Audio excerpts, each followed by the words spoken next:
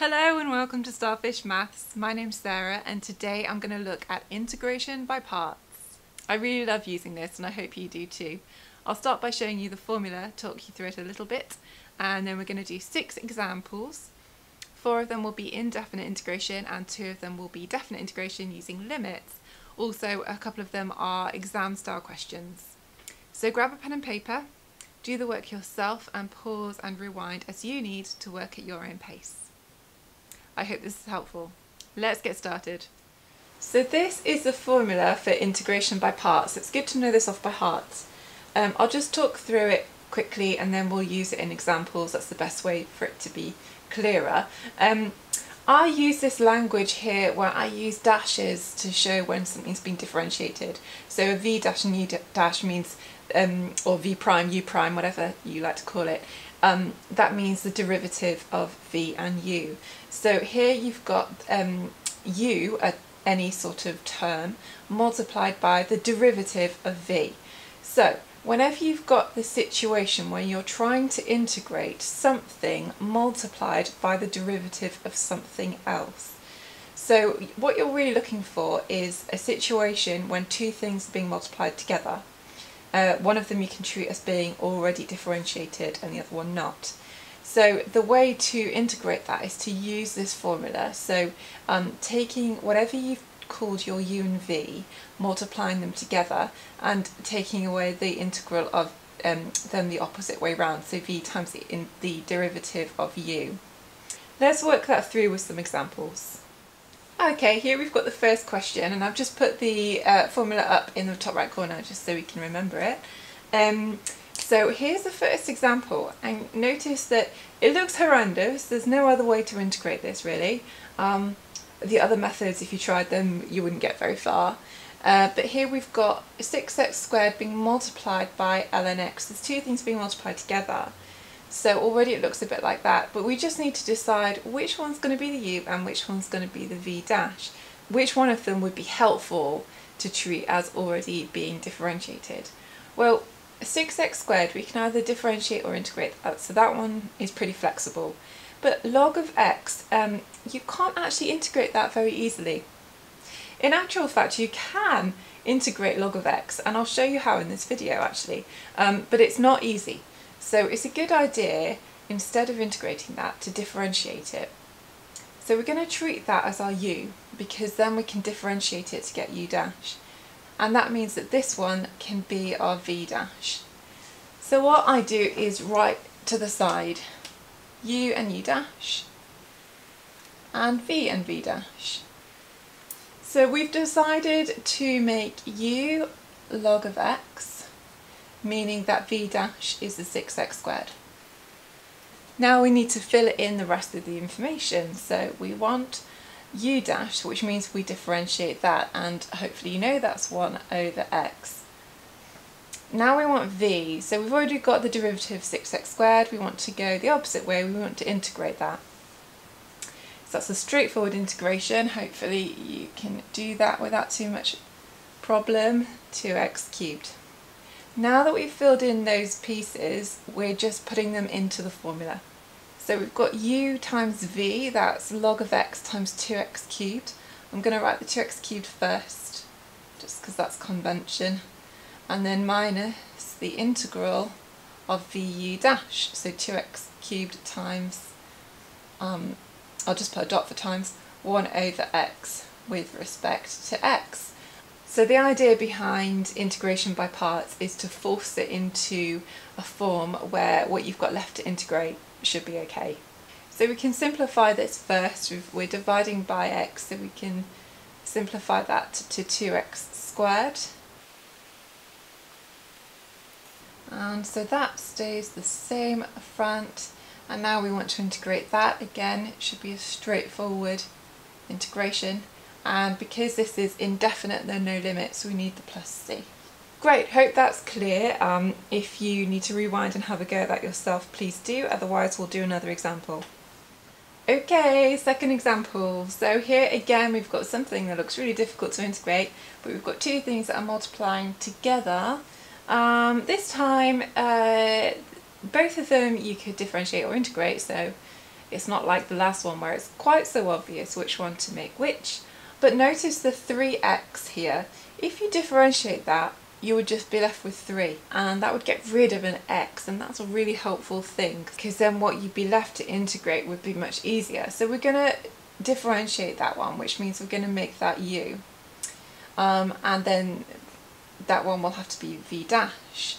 Okay so let's put in the information and hopefully that will be clearer. So we're saying that 3x is our u and that means that we can differentiate it. So we're left with just 3 and that's a really nice thing to do. Um, v dash then will be e to the minus x and integrating that backwards so we'll have e to the minus x and divide by the derivative of minus x which is minus 1 so it'll be minus e to the minus ex. Okay then putting that into the formula so u times v We've got these ones multiplied together. I'm going to put the minus at the front. 3x e to the minus x. Okay, and then we're taking away the integral of vu dash. So these ones multiplied together. So can you see what I mean? Now we're integrating something where we've dropped the x.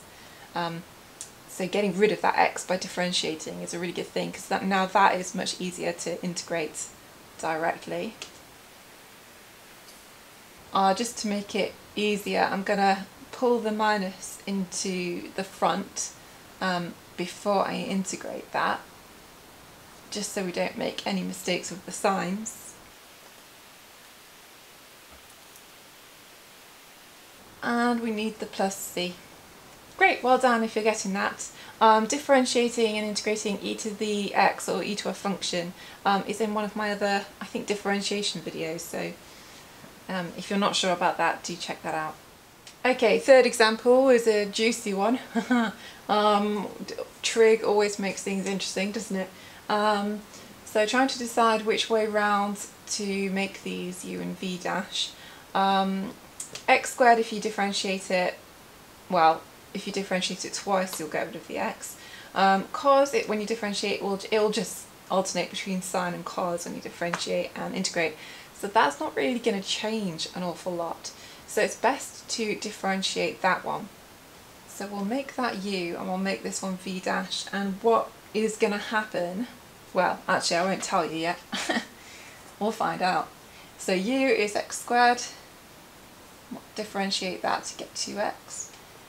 Uh, v dash is cos and we need to integrate that back to get sine using the formula u times v and then minus the integral of vu da. A lot of the time with maths you're just trying stuff and playing with it and seeing what works. so if you weren't sure, if you could just try that and then see what happens. Uh, let's see what we've got. Notice that this integral here, it looks easier to integrate than this did, but it's still not, we're still not quite in a position we can integrate it because we've still got an x. So that one we had x squared, this one we've got x, so we're a step closer. What we really want is just a number times sine x um, to be able to integrate that. So what we're going to do is use integration by parts again. We're going to apply it again to this part here. Fun times. so if we make the 2x u and the sine x v dash, then when we differentiate 2x, we'll lose the x. You can actually use integration by parts as many times as you want. Just have a great time. But um, generally in A level you'll only be expected to do it up to a maximum of two times hopefully. So let's make that 2x and u dash then will be 2. v dash now is sine x and just being really careful about um, the negative sign when you integrate that back you'll get a negative cos because um, when you differentiate cos it changes the sign sign of sine okay. So we've still got that beginning bit there x squared sine x um, and I'm going to put minus and then all of this in brackets because that minus needs to apply to all of it. So let's now use the um, integration by parts formula again. So uv will be minus 2x cos x minus the integral of that stuff there. Now we can integrate that directly. So still with this stuff here, I'll remove the brackets now and change that to a plus.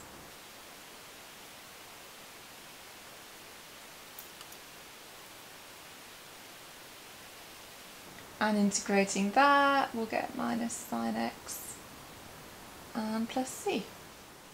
Okay, third example.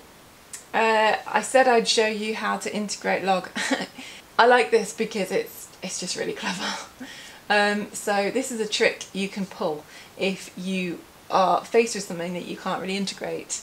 So um, log of x, it doesn't have a straightforward integral. You, it feels like something you can't integrate, but you can using integration by parts as a clever trick. So what we're going to do is sneak in 1 times log of x, and then because you can't um, integrate log of x uh, easily, directly, we're going to instead differentiate it by calling it u, and then the 1 will be the v dash. Isn't that sneaky?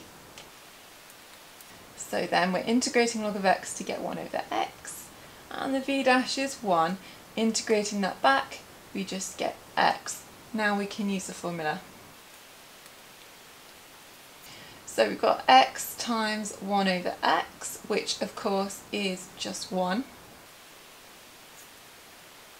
and integral of 1 is x. Beautiful! Some people just learn that that's the integral of log of x, but I think that's so fun, you should just do it yourself. Okay, always practicing more trig, and this time we're going to have limits, so I'll show you how to use them in the integration by parts um, using definite integration. So same thing to start with, we're going to label it up with u and v dash.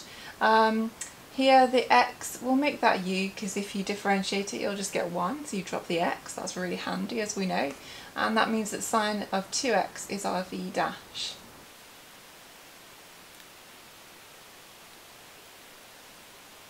Just snuck in a minus there, don't forget that. Okay, using the formula. So the first bit, the uv, um, I'm going to put that in the square brackets because that doesn't need integrating again now It's already sort of been integrated. So putting the limits on the end. Got a minus and a minus here, so I'm going to pull that out and make it a plus.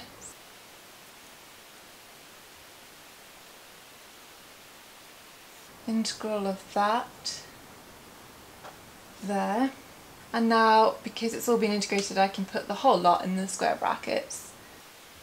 I should really have written the limits on here as well. It's just a lot of writing, isn't it? Um, good, now we can do one minus the other. Uh, so because of 2 lots of pi over 2, or because of pi, um, hopefully you know that without using a calculator. And when we put pi over 2 into here, we'll have sine of pi. Hopefully you know that's 0. Now putting 0 into all of this, we'll have half times 0, so that's just 0. And there's um, plus a quarter sine of 0, and a sine of 0 is 0. Lots of zeros going on. Um, sine of pi is 0. Love it when that happens. So we're just left with this here. Cos of pi is minus 1. So that will times with the minus at the front, so we'll get a positive quarter pi or pi over 4. Nice, and that was actually pulled out of a past exam paper, so that gives you an idea of the standard. Let's do one more question to finish. Okay, last one. Have a go at as much of this as you can yourself. Um, I'm going to make the log of 2x, I'm going to make that the u, because as we know it's not very easy to directly integrate the x to the half can be the v dash. So when you differentiate this, you'll get 2 over 2x, so that's just 1 over x. Integrating.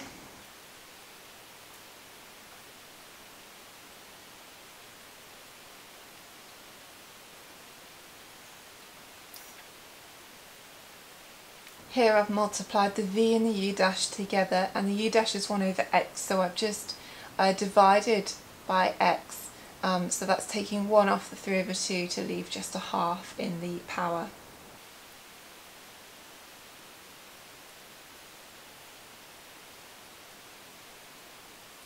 Okay, putting in the limits.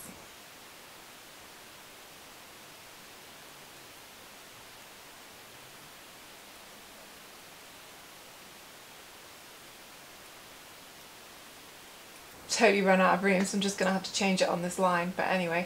Uh, we've got log of 2 here. We want to clean up and um, collect stuff together. Log of 2 and log of 8 but notice you can write log of 8 uh, 8 is the power of 2 clever. Um, and then we can bring the power down to the front which would be 3 times all of that which would leave us with 16 we can also get rid of the brackets if we change that one to a plus. Now we can collect the logs and collect the fractions.